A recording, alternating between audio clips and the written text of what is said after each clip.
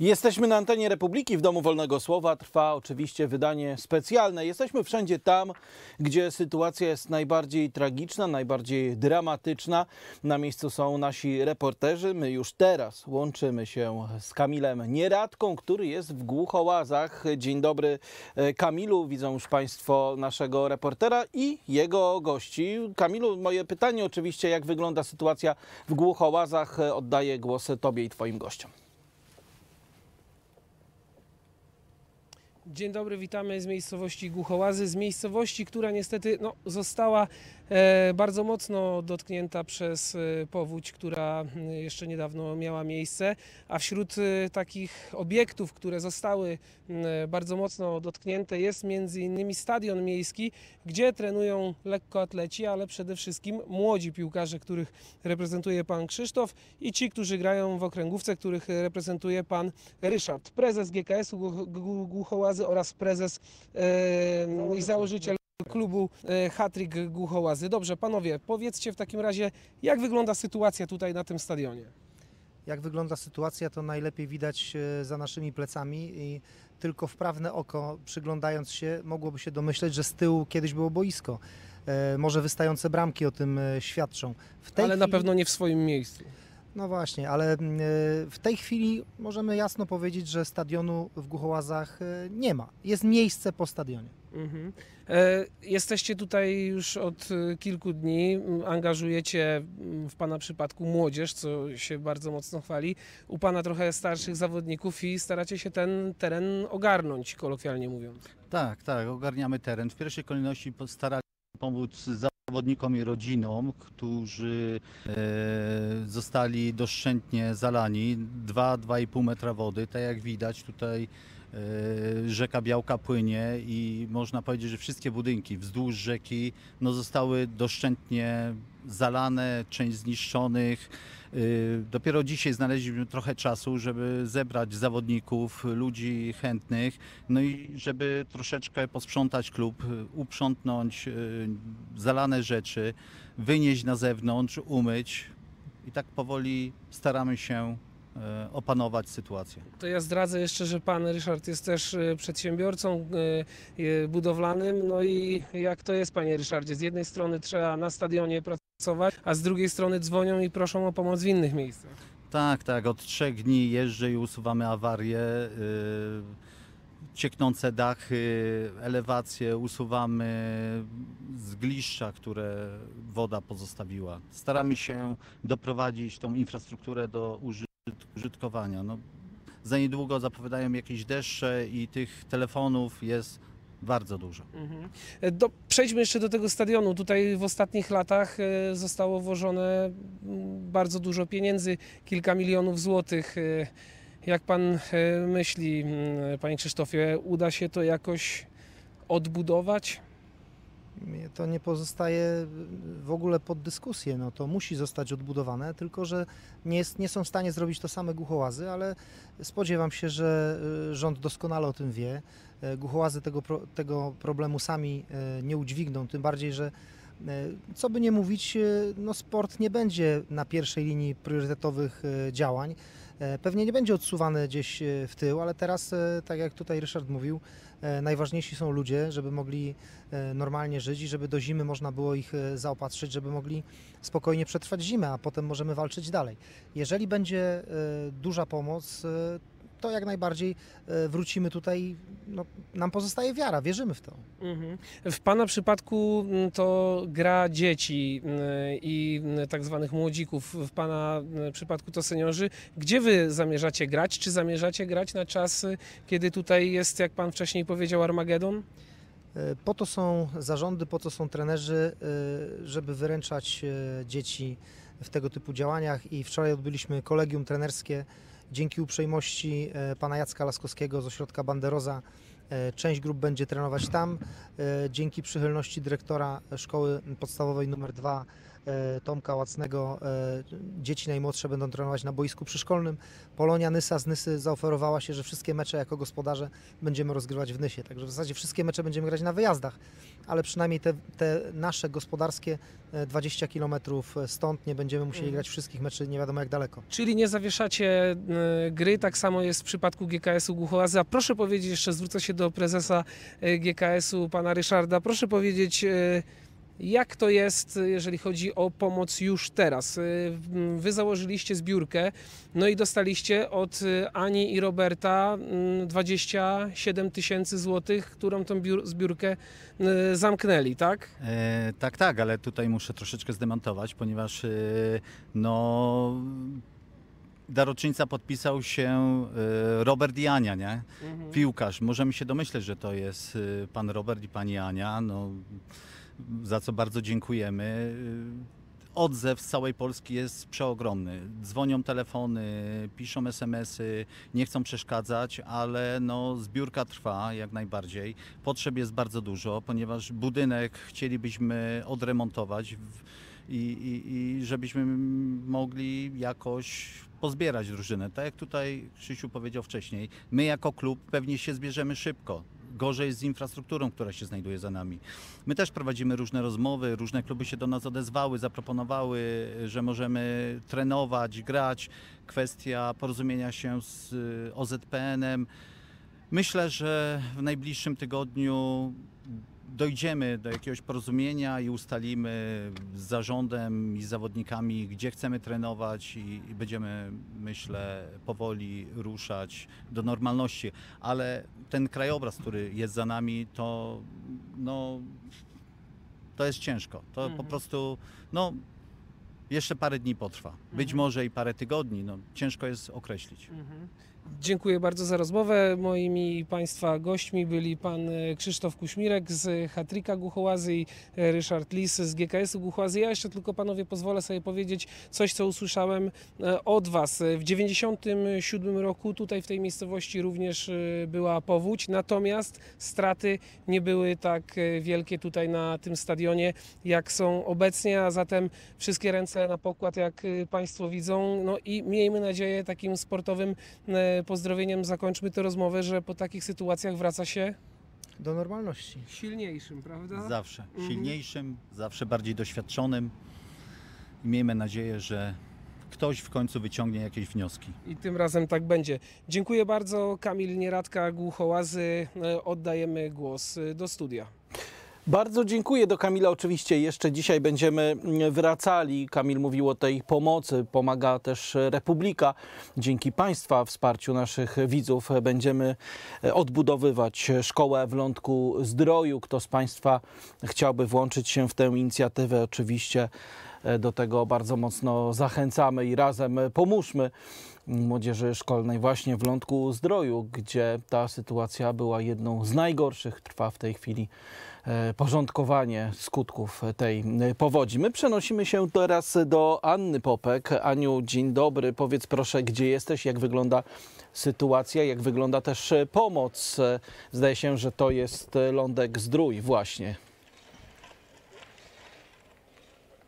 Tak, jesteśmy w Lądku Zdroju właśnie. Tutaj dookoła słychać szur łopat, które zbierają ten śluz, y, kurz i brud y, akurat z rynku, bo na nim jesteśmy, ale w szkole tutaj obok, o której też mówiłeś, że będziemy się włączać w jej odbudowę, prace naprawdę idą y, pełną parą. Usuwany jest ten szlam części mebli, wyposażenia, które zostały zdewastowane. Ale a propos pomocy, co decyduje, że niektórzy z nas, rodaków, pakują się w samochód i w sekundę podejmują decyzję, żeby przyjechać tutaj na Dolny Śląsk do Kotliny Kłodzkiej? No różne są motywacje. Często jest po prostu altruistyczna chęć niesienia pomocy, e, a czasem, tak jak w przypadku e, pana Alberta, e, chęć wspomożenia swojego miejsca rodzinnego, bo mi się wydaje, że ten sentyment, że pan z Nysy pochodzi, e, był tym głównym takim motorem, który sprawił, że chwycił pan e, kierownicę w dłoni i przyjechał natychmiast tutaj, prawda? Tak, po mamie jestem e, w połowie e, z Nysy pochodzę, natomiast jestem bardzo emocjonalnie związany z Lądkiem, więc uznaliśmy z grupą przedsiębiorców, że wesprzemy zarówno e, cukry nyskie, spółdzielnie cukry nyskie, które, co chcę podkreślić, e, która ucierpiała w czasie powodzi, gdzie linia produkcyjna jest e, w tym momencie zdewastowana. Próbujemy to wszyscy odtworzyć e, w, wspólnymi siłami. E, No i tutaj decyzją właśnie dużej grupy przedsiębiorców kupiliśmy kilkanaście palet produktu i przerzuciliśmy właśnie transportem do Lądka, do Kotliny Kłodzkiej, gdzie to będzie dalej dystrybuowane. Dzierży pan w dłoni właśnie te Dzierżę ciasteczka, dłoni- tak? Dzierżę w dłoni, dłoni produkty e, spółdzielni Cukry Nyskie. E, Zachęcam e, wszystkich, którzy mogą, aby mm, e, mm, po prostu zakupili te produkty i mm, przesłali w miejsca, które ucierpiały. Tak, gdzie jest potrzebne. Rzeczywiście słodycze, jakaś drobne takie wsparcie żywnościowe zawsze jest potrzebne, ale podoba mi się ta koncepcja, że za jednym zamachem, że tak powiem, staramy się pomóc dwóm grupom, czyli i przedsiębiorcom, bo cukry nyskie właśnie takich należą, i mieszkańcom, czy też ludziom, którzy tutaj są zgromadzeni tłumnie, by pomagać innym, prawda? To bardzo mm, poważny pracodawca na terenie Nysy, bo zatrudnia mm, ponad 200 osób, e, więc to duży impuls e, ze strony przedsiębiorców, generalnie mówiąc, e, żeby wesprzeć e, taki zakład pracy. Tak, no była sytuacja, Państwo na pewno pamiętają, że wszyscy w Polsce jedliśmy paluszki beskidzkie. E, No i właśnie teraz będziemy jedli ciasteczka z cukrów nyskich, więc e, myślę, że to jest ważne, bo woda opadła, prawda? To się posprząta, ale to, co jest najważniejsze, to odtworzenie biznesu i tego, na czym y, ten region stał, czyli również turystyki. Również, tur- również turystyki i, e, i biznesów e, takiego właśnie jak, jak lokalni producenci, którzy, od, od, y, którzy w dużej mierze w, opierają swoją sprzedaż na lo, lokalnie e, i na takim wsparciu właśnie takich jak, takim, jak, jak, jak, jakiej my udzielamy. Także Tak, myślę, że proszę Państwa, tutaj ważne jest to, że nie patrzymy teraz na to, kto jest reklamodawcą, kto jest reklamodbiorcą, czy to jest y, zachęta, czy to jest reklama, z jakie, jakie są barwy partyjne. Po prostu wydaje mi się, że to jest taki moment, który dobrze wykorzystać, żebyśmy po prostu poczuli, że jesteśmy Polakami, po prostu, rodakami. tutaj, jeśli mogę sobie pozwolić o, o taki e, poważniejszy apel, to pamiętajmy, że kataklizmy, katastrofy nie mają barw politycznych. I tak zwracam się do, do wszystkich, którzy mogą pomóc i już pomagają. E, Zostawmy to wszystko daleko za sobą. Kataklizmy nie mają barw politycznych. Pomagajmy. Pomagajmy i rzeczywiście to, o czym Pan mówił, czyli to wspieranie biznesu lokalnego. Być może w przyszłości y, uda się odtworzyć tą kolejkę y, do Stronia Śląskiego, która też przecież była motorem napędowym całego przemysłu turystycznego i w ogóle ruchu, zapoczątkowanego już przez Mariannę Orańską tutaj w tych terenach, czyli y, ładnych, ładnych kilka lat, te- kilkadziesiąt lat temu. Tak, pamiętajmy, że Kotlina Kłodzka e, jest oparta na, głównie na bizne- biznesie turystycznym, gdzie ta kolejka łącząca stronie z resztą Polski de facto, e, ona była takim, taką siłą napędową tego, tego terenu i e, wydaje mi się, w zasadzie jestem przekonany, że to wymaga natychmiastowego odtworze, odtworzenia i jakichś de, decyzji na poziomie chyba jak najwyższym. Tak, no myślę, że tutaj jednak władze państwowe będą zobowiązane. Bardzo dziękuję panu. Nie zatrzymuję, bo pan pędzi z tymi ciasteczkami dalej, a my zapraszamy panią bardzo serdecznie państwa, dlatego że mówimy, proszę, proszę, za sekundkę, za sekundkę, bo my tutaj mamy na żywo akurat łączenie. E, Dzień dobry. Witamy państwa, proszę się przedstawić.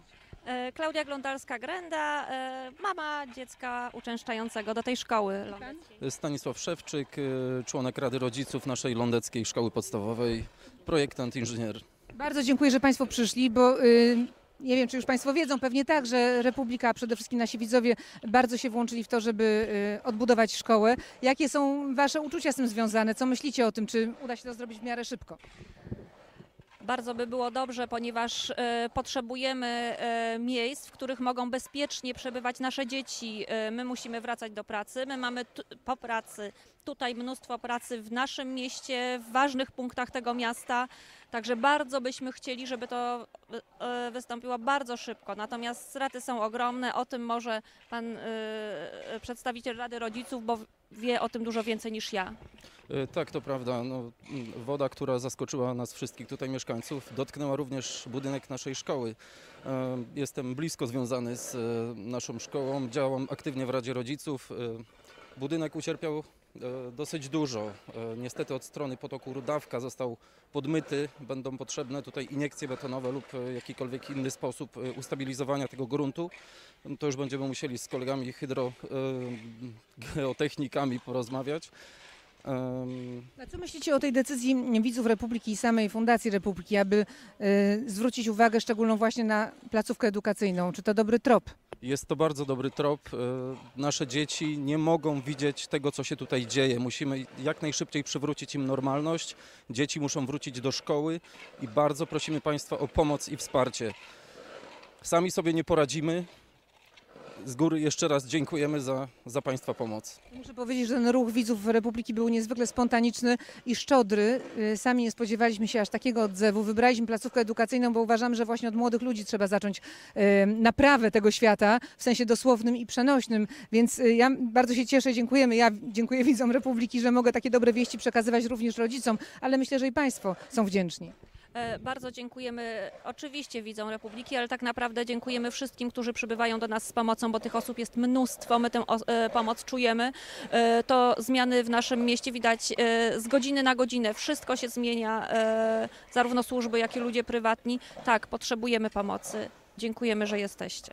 Muszę powiedzieć, że słońce sprzyja, to wszystko schnie bardzo szybko, ale też y, to wzmaga tempo pracy, żeby ten pył nie zasechł tutaj na ulicach, bo potem będzie trudno go usunąć, prawda?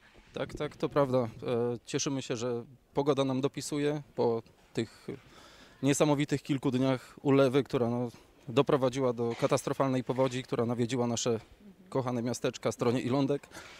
Ale z Państwa pomocą, z pomocą wszystkich Polaków damy sobie radę, bo my Polacy potrafimy się zjednoczyć, jak jest źle i, i to jest wspaniałe. I oby został również ten czas, kiedy będzie już lepiej. To jeszcze tylko technicznych kilka pytań związanych z dziećmi. Ile dzieci uczęszcza do szkoły, dla ilu to będzie pomoc taka realna? Y, Do naszych dwóch placówek, y, do liceum ogólnokształcącego oraz do y, szkoły podstawowej uczęszcza 350 dzieci.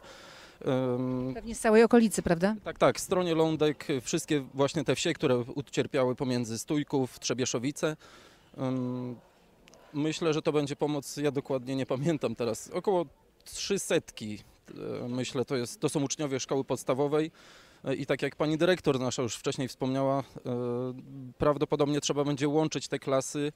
Ym, Najważniejsze, żeby dzieci wróciły do szkoły, żeby miały kontakt z rówieśnikami, żeby życie powoli zaczęło wracać do normalności. My musimy wrócić do pracy.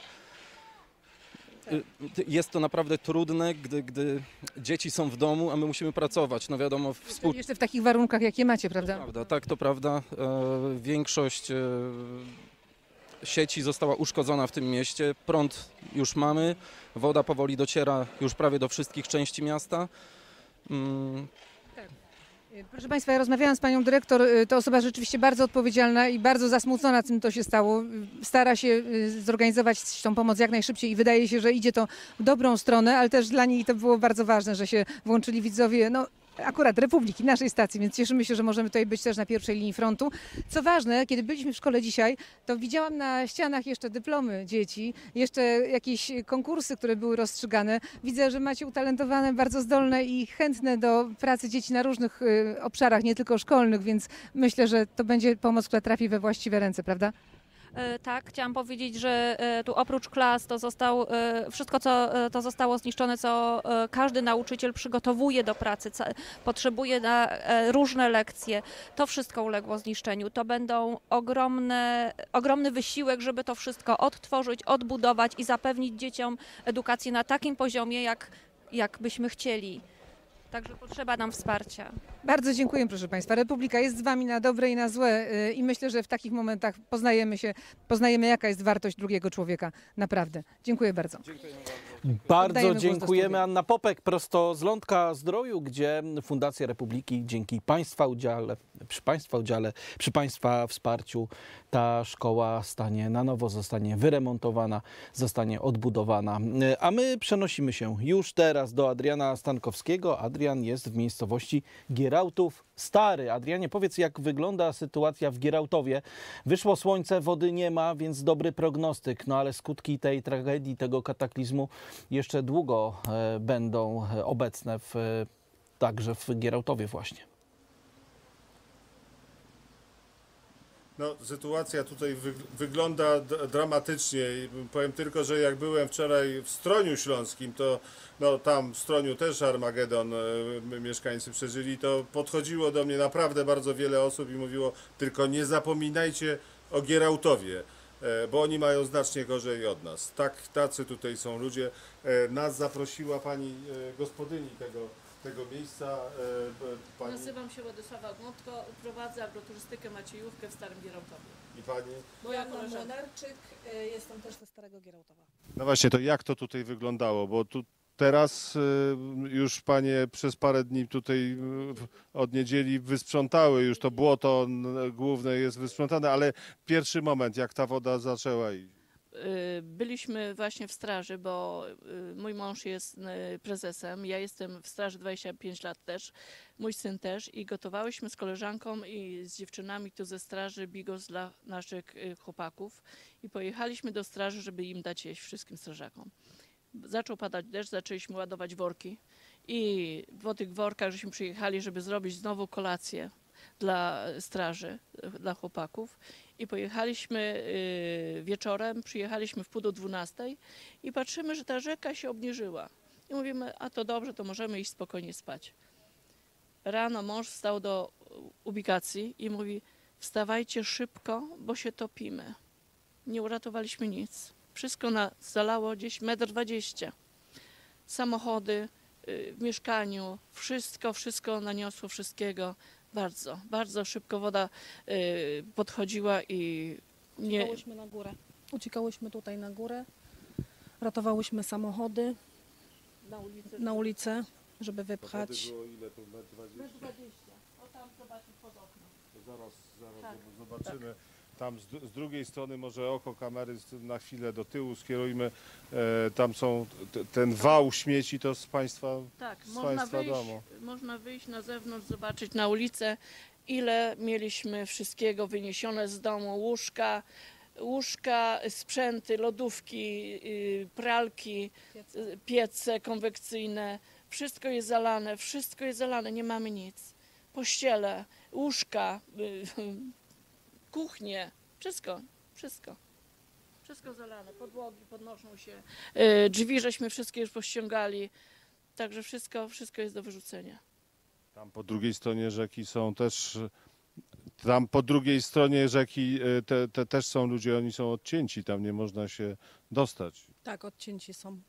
Nie da rady się tam dostać. Moja koleżanka mieszka wie, wyżej trochę i, na i chodzi na nogach. Tu samochód ma u mnie, bo nie może dojechać do swojego domu. Nawet do pracy nie mogę dojechać. No, a pracuje w szpitalu w Stroniu i, i z początku spała u mnie, później już zaczęła chodzić do domu, teraz już też idzie, ale codziennie przychodzi mi pomagać, żeby, żeby jakoś pomóc y, uprzątnąć. Moje koleżanki ze straży. To zobaczmy może jak, to tutaj wyglądało, jakby pani e, nam. Zapraszam. Wszystkie, wszystkie stołki, które mieliśmy 40 na sali, wszystko jest zalane. Wszystko jest zalane, wszystko jest praktycznie do, do wyrzucenia. Można zobaczyć teraz, jak, jak nas wysoko zalało, jak to wygląda, jak to wygląda. Proszę bardzo, tu jest spiżarka. Można zobaczyć już, już wyniesiona. Zobaczyć proszę, dokąd była, dokąd była woda. Wszystko zalane, cała zamrażalka, lodówka, wszystko zamrażalka, lodówka, piec konwekcyjny, tu taki duży mieliśmy do, do pieczenia mięs. Nie ma nic. A tutaj nowa lodówka. A tą nową lodówkę przywiozła mi moja koleżanka, która mieszka we Wrocławiu, która przyjeżdżała już od 15 lat do nas na pokoje i takie wielkie serce miała, że dzisiaj przywiozła mi lodówkę. Przywiozła mi dzisiaj lodówkę. Proszę Tutaj- zobaczyć, Tu jest garderoba, pokój. Proszę wejść.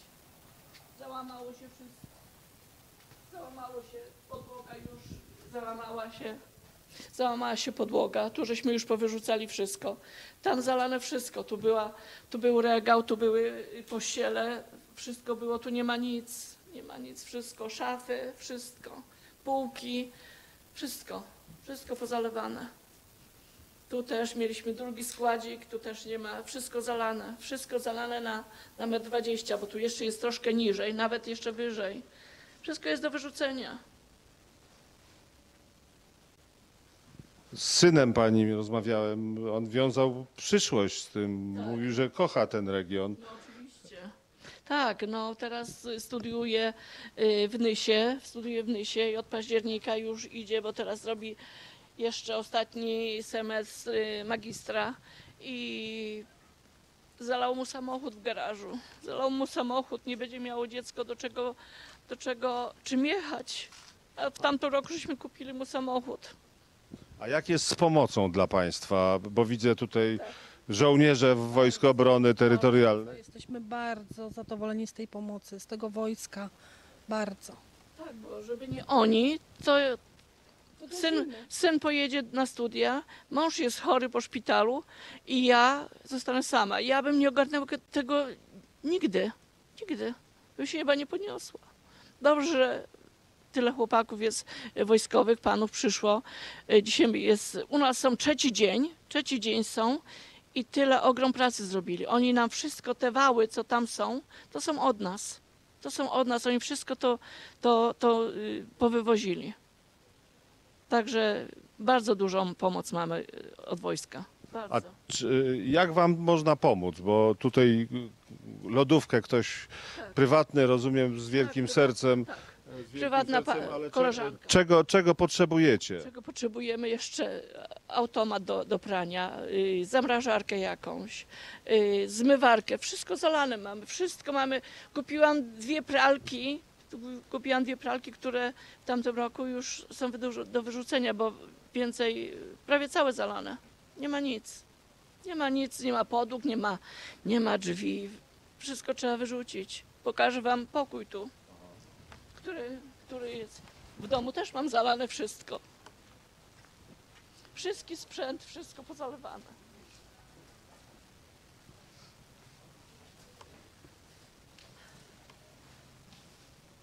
Proszę zobaczyć. Wszystkie futryny, wszystko się wylewa. Futryny do wyrzucenia, podłogi, wszystko. Łóżko też trzeba wyrzucić, materac żeśmy wyrzucili, ale łóżko też trzeba wyrzucić, szafa się roz, rozkleja, wszystko. Także nic nie uratujemy. Bo państwo tutaj żyli z turystyki, to jest wieś. Tak, żeśmy żyli za turystyki. Także teraz, żeby zacząć coś od nowa, kiedy, nie wiem, kiedy podniesiemy się, wszystko trzeba to osuszać, trzeba zrywać podłogi. Jutro też y, nasi znajomi, którzy przyjeżdżali do nas, y, mówili, zaoferowali się, że przyjadą zrywać podłogi, żeby nam pomóc. A osuszanie, bo to potrzebny jest sprzęt. Y, Jeden osuszacz żeśmy wczoraj dostali też od znajomych, którzy też u nas nocowali. Także też nam już, już mamy włączony w domu. To już mamy włączony w domu. Ten os, os, osuszacz. No właśnie, bo to pilne, żeby zdążyć przed zimą osuszyć te budynki. No już za niedługo przyjdzie ta zima. Już dzisiaj był nawet pierwszy przymrozek rano. Tak. W nocy było rzeczywiście chłodno. Było dzisiaj. Tak, dzisiaj było chłodno. Tak, no. Pokażę Państwu jeszcze, jeszcze ten samochód zalany mojego syna. Nie tylko samochód Wam pokażę. Jeszcze zobaczycie. Wszystko. Proszę zobaczyć, ile, ile tu jest, yy, ile tu było błota, wszystkiego. To wszystko było zalane. Syna samochód w garażu zalane. Zalane teraz pootwierali ten samochód, żeby, żeby on sech. Nie wiem, czy on jest do uratowania. To dziecko nie ma, nie ma czym jeździć od października do, do szkoły. Nie ma, musi jeździć do Proszę Nysy. zobaczyć, ile tam było wody. Proszę zobaczyć, dokąd woda. To Masa roboty, żeby tutaj y, w- w- te, to błoto stąd usunąć. Tak. Y, Syn później po dwóch dniach ze straży przyszedł i leciał po coś, żeby coś tu zrobić. Nie wiedział, że tam teraz w tej chwili już jest zasypana ta dziura, ale tam była dwumetrowa dziura. On wpadł do tej dziury o dziewiątej wieczór. Nawet żeśmy nie wiedzieli i przed mówi, mamo, wpadł do jakiejś dziury. Dobrze się nie utopiło dziecko. I ta woda stamtąd napłynęła, tak? Tak. Stamtąd przyszła, bo tam y, most y, się zerwał. On zagrodził drogę y, rzece. Drzewa, które rosły przy boku, wszystko za- zablokowało tam i zatamowało ten most i wszystko poszło do nas. Wszystko poszło do nas. Pierwszą wodę, która poszła do nas, to, to tu najwięcej do nas. Wszystko tu jest. Kład zalany, y, kosiarka zalana, taka, taka y, jak ona się nazywa, ta kosiarka, co się samemu jeździ, tak.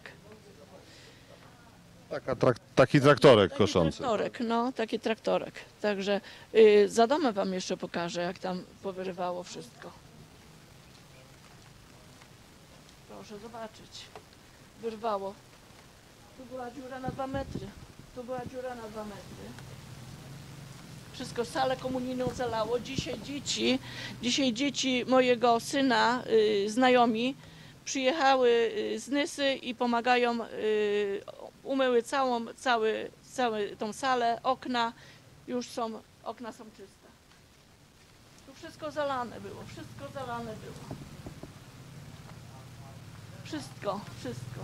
Tu zalane, proszę zobaczyć jaki. Nie wiem czym będziemy kosić na drugi rok. To, to ja nie wiem czy da radę to odtworzyć już, żeby to, żeby to można było kosić. Cały, cały tu tył zabrało. Wyrwało wszystko. Tu cały róg wyrwało, wyrwało słup. Tu naniosło tyle. Wojsko nam wszystko pomagało to wywalać. Tu było to, co tam jest, to jest wszystko od nas. Wszystko, wszystko zniszczone, wszystko. A już za- zastanawiała się Pani, ile to może ko- kosztować? Od... Nie mam, nie mam, nie, nie wiem, nie wiem. Kiedy to się podniesiemy z tego, nie wiem. Nie mam pojęcia. To jest tyle lat, żeśmy tu pracowali, żeby to jakoś doprowadzić do, do jakiegoś ładu, żeby coś mieć i nie wiem, jak to, jak to dalej będzie. Nie wiadomo, czy nam państwo coś pomoże. Może ktoś z gości gdzieś, ktoś jeszcze nam pomoże finansowo, żeby, żeby parę złotych przesłać. Nie wiem, nie wiem. Ogromny dramat w Gierałtowie to jest e, jedno z wielu e, m, zalanych, e, poszkodowanych gospodarstw. E, No ale właśnie e, nie wiem jak tutaj, bo ksiądz proboszcz tutaj widziałem bardzo, bardzo się No. udzielał. Yy, Zupełnie nie, nie, e, nie, nie duchownym stroju dzisiaj. tak, tak, ale powiem wam, że ten, bardzo fajnego mamy księdza proboszcza Macieja i ten, i pomaga nam bardzo. Nawet yy, dzwoniłam do niego, bo nie mieliśmy jeszcze tego do mycia karszera i dzwoniłam do proboszcza i, i mówi, Pani Władziu, pożyczyłem tam Pani Ewie, ale jak już będzie yy, odda mi, to ja do Pani przywiozę. I przywiózł mi karszera, którym mieliśmy troszkę to podwórko, żeśmy pozbierali ten szlam, to bagno. No i później żeśmy chociaż troszkę opukali to podwórko i sam proboszcz nam przyjechał i przywiózł. Jeszcze mi przywiózł worek marchewki. Tutaj oprócz tych domów, które no, wymagają głębokich, głębokiej pracy, to jeszcze trzeba odtworzyć drogę. Ile? Trzy mosty zerwało. Trzy mosty zerwało, które no, z jednej strony tam pozasypywali i troszkę, nawet mój wnuczek zasypywał, bo ma koparkę i mój zięć, y, zasypywali ten most i że możemy chociaż jedną stroną przejechać już. Że ja dzisiaj byłam po świeży chleb samochodem rano, bo nie mieliśmy już świeżego chleba, a tak to mamy wodę, konserwy jakieś, yy, takie środki czystości, rękawiczki. Wszystko nam y, od Państwa spływa, także dziękujemy bardzo za, za takie wsparcie też. Super, super. Wielkie serca. E, To o co by Pani za, zaapelowała? Co tutaj w Gierałtowie, już nie tylko Pani, jest najbardziej potrzebne? No myślę, że pomoc żeśmy już też dostali taką dużą, że, że posprzątali nam dosyć dużo i bardzo dużo. Prawie wszystko posprzątane jest, ale co nam trzeba teraz? No myślę, że jakichś finansów, żeby to troszkę jakoś odbudować, żeby zacząć znowu, żeby zaczęli do nas znowu goście przyjeżdżać. No właśnie, to będziemy apelować e, o to, żeby tu przyjeżdżać, bo tu piękne, piękne, naprawdę piękne okolice. E, Oddaję głos do studia w Warszawie, Adrian Stankowski z Gierałtowa Starego, gdzie, gdzie sytuacja jest bardzo poważna do, do dzisiaj. Bardzo dziękuję. To Adrian Stankowski, Gierałtów, stary i niezwykle dramatyczna, wstrząsająca relacja. Nie uratowaliśmy nic, nie mamy nic, wszystko jest zalane, mówi mieszkanka Gierałtowa w tym gospodarstwie, w którym jest Adrian Stankowski, zbiera e, komentarze. My oczywiście będziemy się łączyć. Skutki tej powodzi, tego kataklizmu widzą Państwo w naszych obrazkach masa błota, masa szlamu i brak e, takich jasnych perspektyw. Co dalej? Bo ta sytuacja jest e, tragiczna. My za chwilę do Państwa wracamy. Teraz serwis informacyjny Konrad Chmioła już na Państwa czeka.